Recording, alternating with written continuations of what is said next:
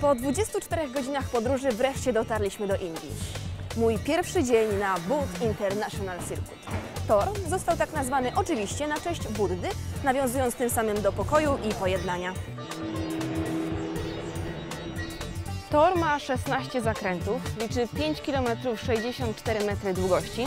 Został zaprojektowany przez Hermana Tilke, czyli głównego projektanta torów Formuły 1.